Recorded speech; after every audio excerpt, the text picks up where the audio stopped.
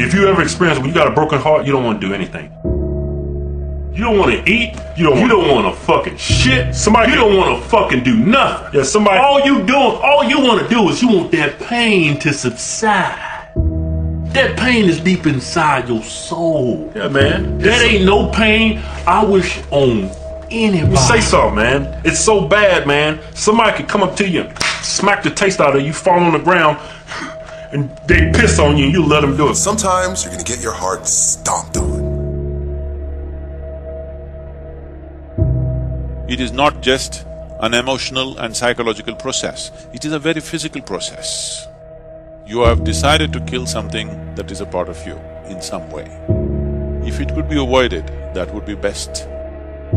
But for some reason, you have come to that situation where this is… this has to happen.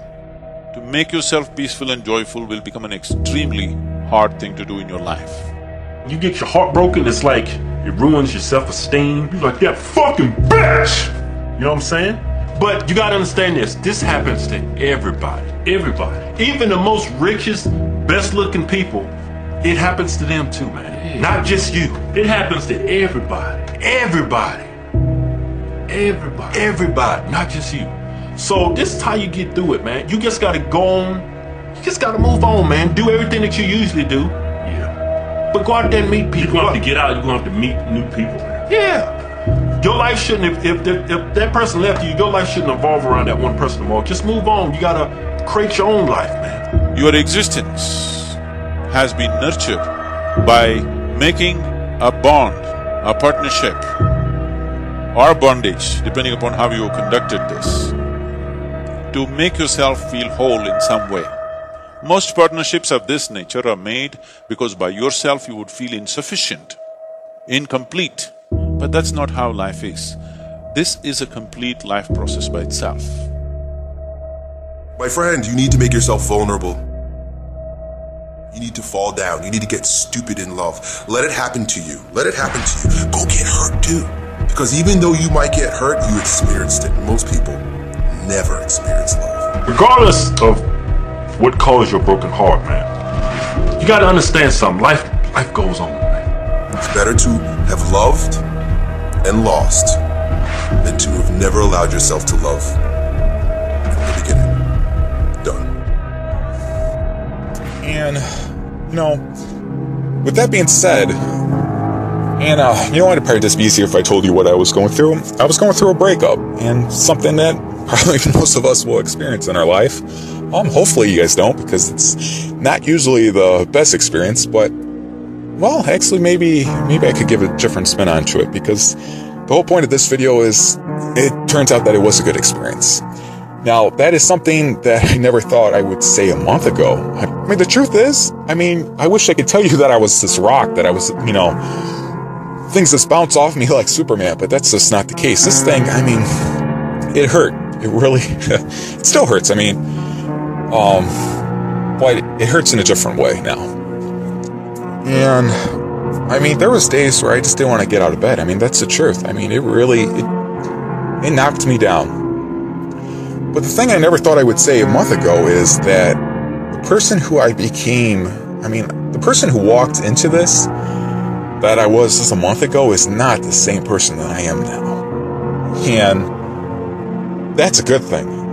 The person who, you know, walked out of that storm, I mean, I could have never became that person if I didn't go through this. And that's something I am, I'm really thankful for. Um, I never thought I would be saying that I'd be thankful for the, you know, this breakup because God, it hurt. It really did. But I am. And that's, you know, that's something that it's going to be hard for you guys to, I guess, think about when you're going through it. I mean, it's something that I never thought, you know, when I was going through it. But if you're able to survive, if you're able to get through that storm, like I said, if you just pull out that chair and just say, you know what, I'm going to sit here, and no matter how long it takes, I'm going to make it. You know, if you get into that mindset, when you do walk out of the storm, um, you're going to be thankful for the storm.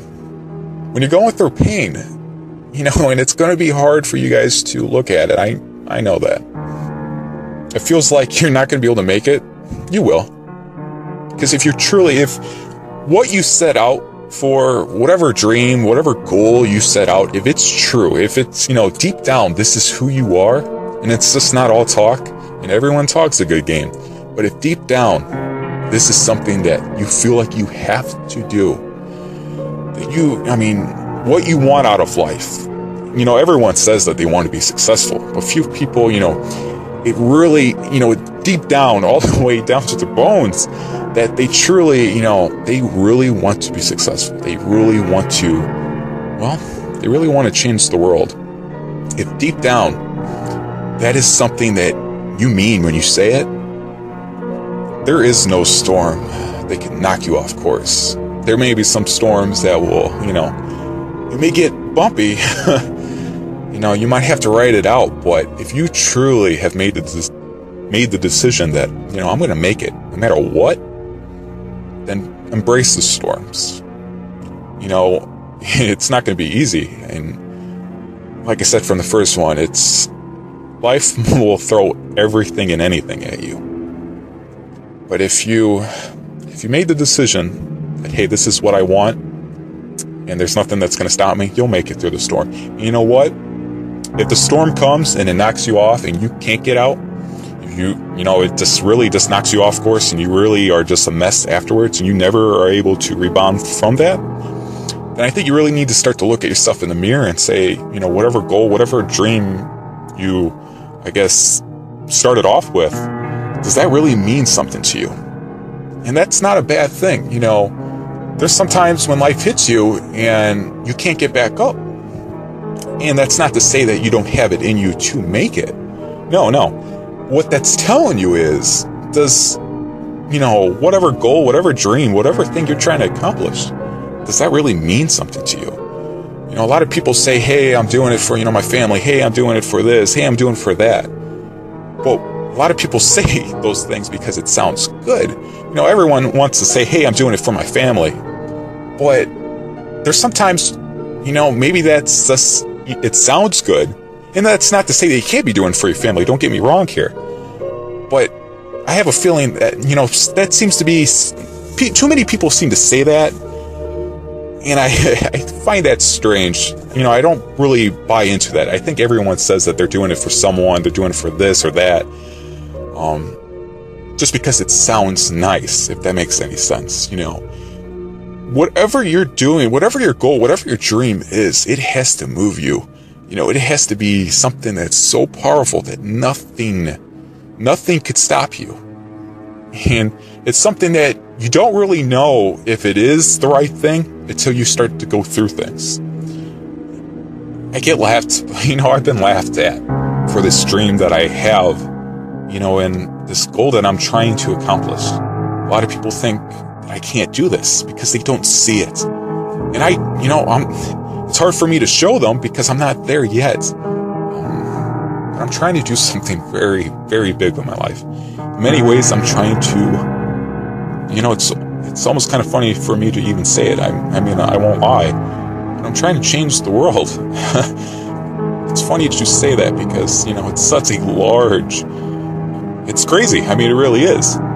But I'm not going to stop because deep down starting to, you know, I'm starting to believe that I think I just can. So when you find, you find what means something to you, and when things start to happen, when life starts to throw things at you, and you're able to just keep on going, you know, when life hits you and you just keep on moving forward, even when you don't want to, then then you find out what your life's true calling is. Because when life, when life can't stop you, nothing can stop you. with that being said, guys, I think that's a good way to end this one.